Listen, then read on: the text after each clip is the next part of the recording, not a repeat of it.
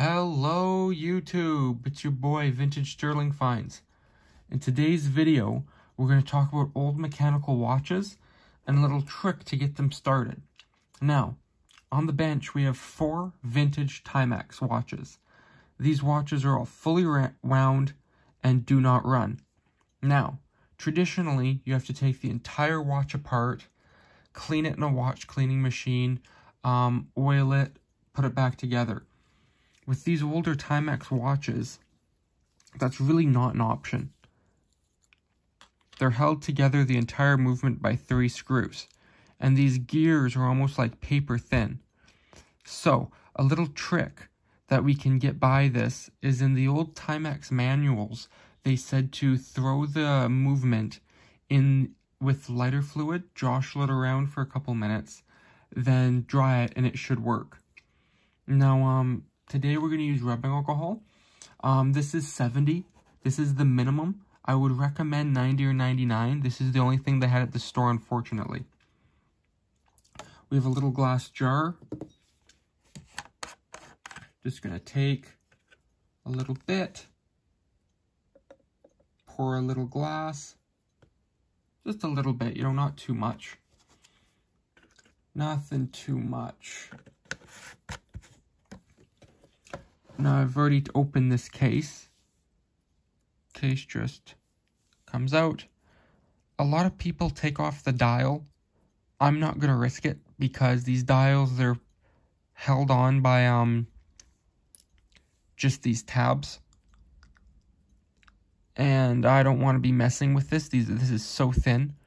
It may take off some of the um paint, but I'm willing to take that risk. I like to use tweezers, just an old pair of busted up tweezers. We just take our little jar, straight in. I like to jostle it around.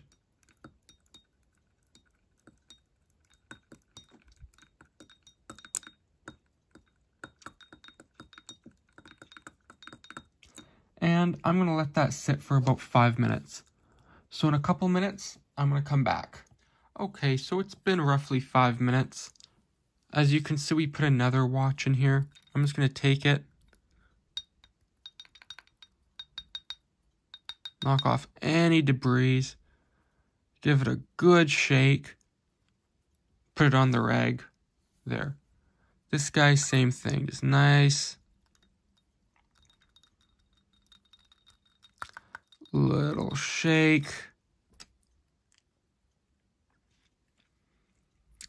Now when they're on the paper towel, I just like to take them. Remember, we don't want to mess with the hands, but I like to get all that alcohol off the dial. Because these dials are painted, we don't want to strip away the paint. So I just like to just dap, damp, pat them dry.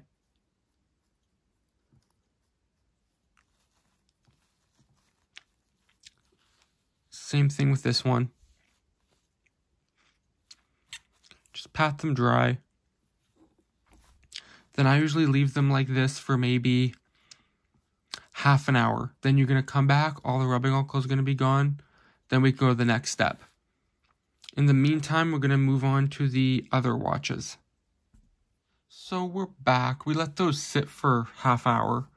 But as you can see, a lot of junk in the um, alcohol.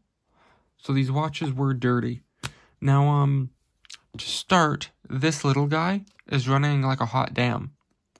Started running, won't stop, running well.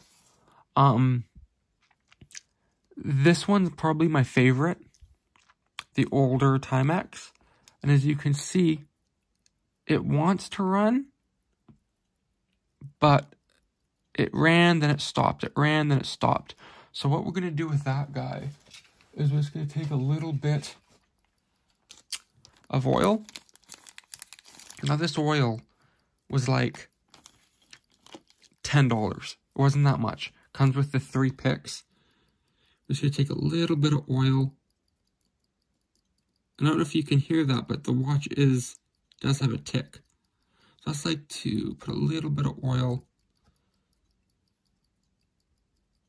There we go. All we're going to do. And you can even see this mainspring. Now, I don't know where to oil this. We're just going to take a guess. You know, these are $40, $50 watches. I wouldn't do this with a Rolex, obviously. But we're just having fun in this channel. So that's running now. So we can put that to the side. This guy, a little bit of a funny story. I fully wound it, wouldn't run. Once the video was over in the last part, I picked it up and it was running. It ran for like three seconds, stopped. Shook it, another couple seconds, stop. Now it's just coming back to life again. So let's do the same thing. Put a little bit of oil. And it's hard because these watches have zero jewels. Jewels are those synthetic rubies that they they help reduce almost frictionless. So that's why we hear these watches tick, tick, tick, tick, tick, because it's metal on metal. See, I honestly trying to do the best here. You see, this guy's ticking away now. Maybe we'll get lucky. This guy wanted to run. Maybe after a couple minutes it will. Now, the blue guy. I haven't been able to get this watch to run at all. Because what we can do is just give it a little bit of a little trick just to give it a little bit of a start.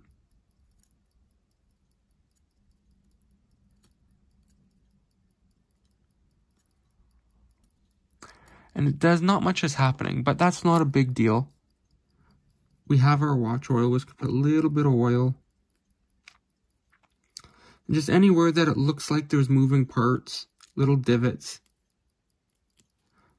I just come and put a little bit of oil. Not a lot, just a little. Little bit goes a long way.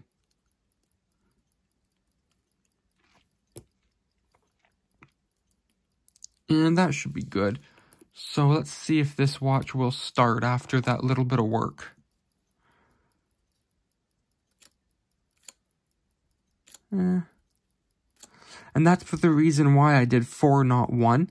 Because if we do one and it doesn't work, this video is a waste. So that's why we did four.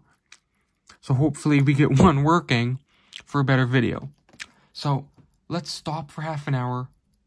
I'll come back and I'll show you if the watches still work or what's going on. So it's been about an hour, give or take a bit. This watch is working. This watch is working. You can hear them ticking away. This watch is working. This one has the second hand so you can see it. However, this watch I cannot get working. So what I could do is repeat the process. Maybe leave it in for five, six more minutes. Bring it out, let it dry, put some oil. Maybe it'll run. I'm seeing no major issues in the movement. Everything appears fine. So um, that's what I'll probably end up doing. That wraps up the video. We got 3 out of 4, not a bad result.